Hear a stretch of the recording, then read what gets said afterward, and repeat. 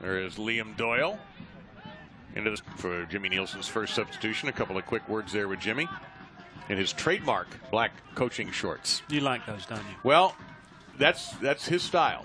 I, I'm trying to think of the OKC game. Boating, huh? Back, a back heel from your fullback. Your centre half's gone charging up the line. And Alex Dixon with a spirited run. He ran into, and I cut. As for Swope, their final game in this playoff race. There's Oh! a shot and a goal! Off of the free kick. Opportunity on the counter for the Toros out. And that ball was a little too low, intended for Murphy. on for the Rangers, and it's going to be a pretty much a, a very frustrating first 45 minutes if it continues in this vein up until halftime. And you see right now, And a midfield teammate, Duke. That's not just on Oliveira, that's on Duke as well. Their positioning just needs to be closer. from distance, just wide.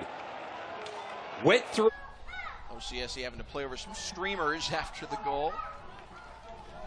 A little local celebration down there. Great to see the fans enjoying. prospects. Tyler Pasher getting his start up top today, applying pressure. And now it's a turnover. Bad pass from Mickey Daly. Straight into the feet of Liam Doyle. And now Kuzain making his sixth start, but several of those have come recently with the departure of has not been hesitant to lean on his youngsters. A lot of minutes they've logged so far. much more experience in the OKC side. As you say, the ground crew has done a fantastic job. Showed up today and was really thrilled to see just how good it looks. Got a chance to. Moloto manages to keep that one in play. Excuse me, Belmar. Energy trying to go up the middle there. Well read and intercepted by Liam Doyle. Andy With a towering header from Colton Storm to win it over the 5'8 Miguel Gonzalez. Some quick feet from Liam Doyle to dribble out of pressure there. Wallace now finds his mate for real in midfield. Checking back was Angulo, but a nice.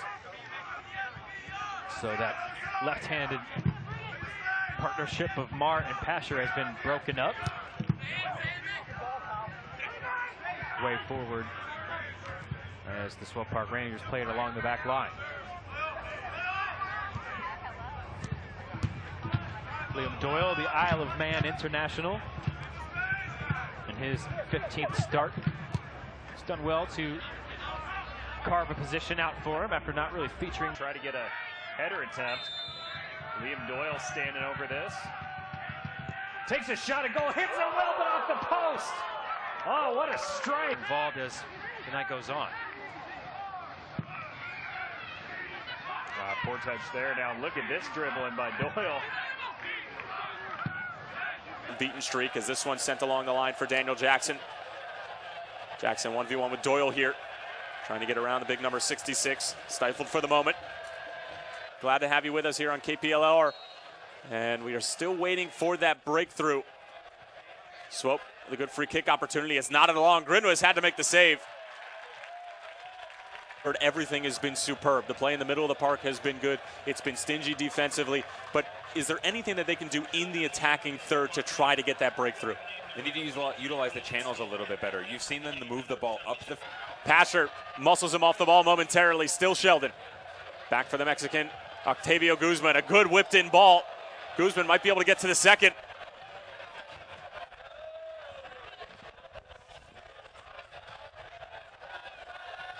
Doyle.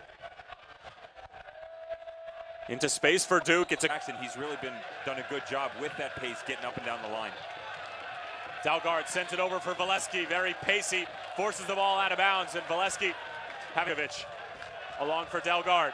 Apia okay for the moment. Sebastian Dalgaard around one defender. Then stood up by Doyle.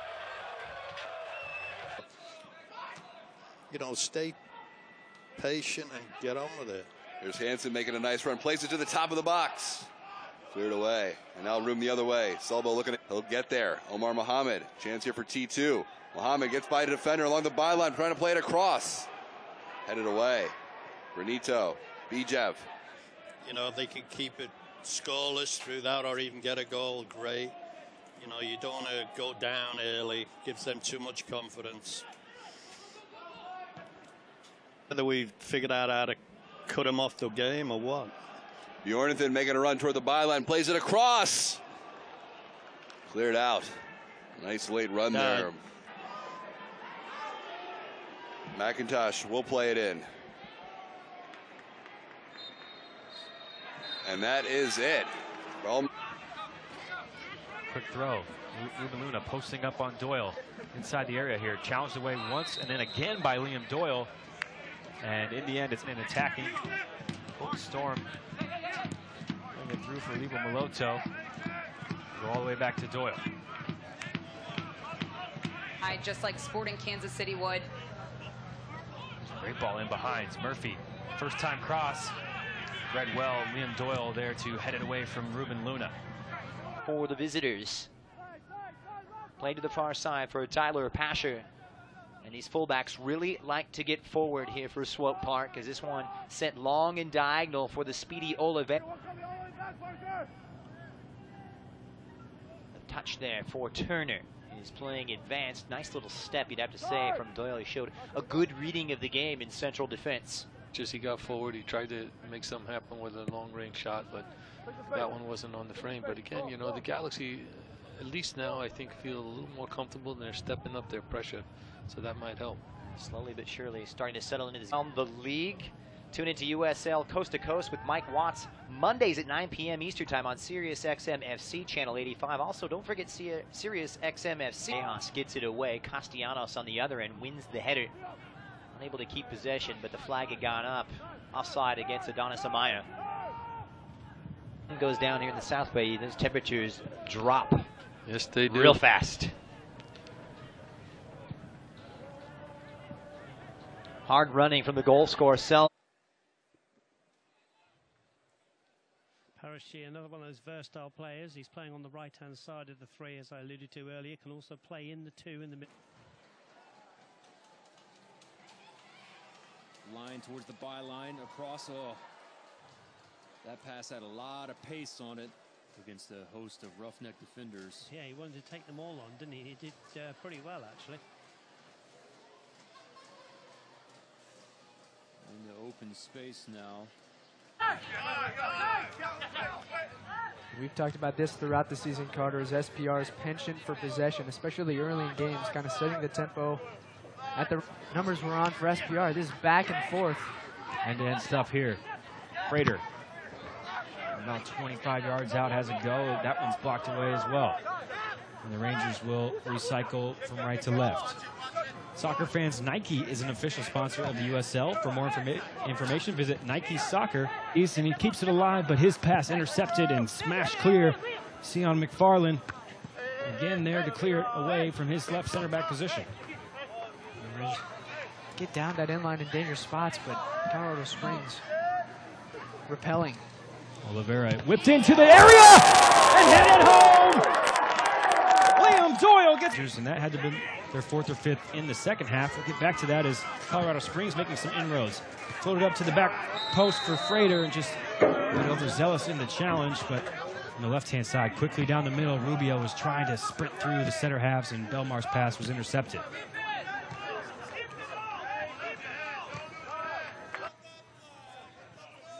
Same time, that speed of Selbel could be a factor as Swope Park Rangers in, in search of that second goal.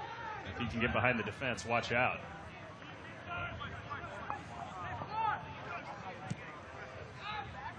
Smart by. Minutes. See if Phoenix makes any changes here. We mentioned the Mexican soccer for Phoenix, and now it's two for Swope Park Rangers today. So Drogba able to keep it in. Now deal with the ball sent across, but headed out by the defense of Swope Park. And yeah, they get roster that playoff team in 2011. He's replaced by number nine, Omar Lago. That was uh, one of those years that even though there wasn't a championship, Impressive young player and a, and a bright future, you would have to say. Uh, joined the USU 20 national team actually in, during the month of April. Didn't make the World Cup team, but Hernandez looking for an outside of the boot pass, just trying to slip it through for Miro Savage. Again, read, read well by Jadama. And now Liam Doyle. Worrying time there for SPR. Again, a good delivery from Kaffa as he just picked out the 6-6 frame. Since between Iwasa and Sporting Kansas City's Dom Dwyer Carter, and that both have those stocky physical builds. If Iwasa kind of ball over to the left. Balu gets there first, but now the Roughnecks has streamed forward into the box. A slide across right into the six-yard box, and Liam Doyle taking. Kaffa now laying it off for Calistri. Looking for Svantessen, and he had straight. Zendejas forced into action. Some confusion there in the back, and it's a corner kick now for the Roughnecks. Headed away. Good header from Liam Doyle to clear his lines. More of the ball as well. If SPR can get back into it and string some passes together. Well delivered in, though, by Forbes from the corner stick. Cochran now, the opposite stick. He'll deliver this one to the top of the six, and McCarthy was climbing the ladder, but it didn't time it very well. He's only seen one shot on target here through the first 55 minutes tonight. Doyle splits back to the inside. Billy Forbes flat-footed. It'll allow. It have been somewhat from behind, but it was totally all ball, and I think uh, I think we got a little unlucky there. Close one there for Kevin Oliveira as AJ Ajekwa applying a bit of a one-man press. Just both the, the end of last season and this season. Making his fourth start 2017 campaign, Adrian Zendejas.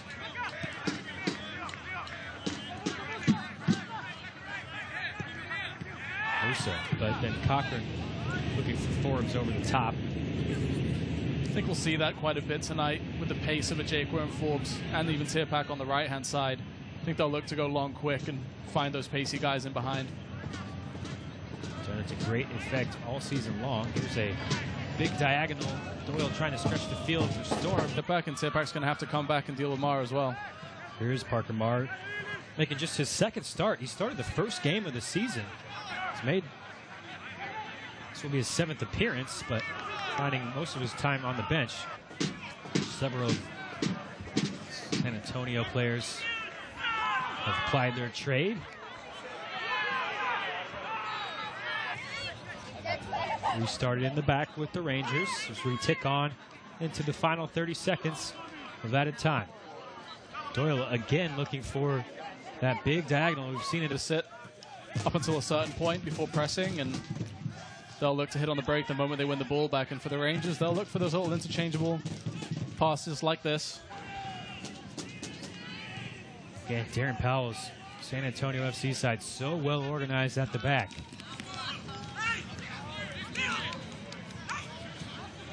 You see how tight it is in the middle there, right in front of the San Antonio box. So many bodies that have snuff out any attack from the Rangers. Doyle now charging forward from his center back position and taking control.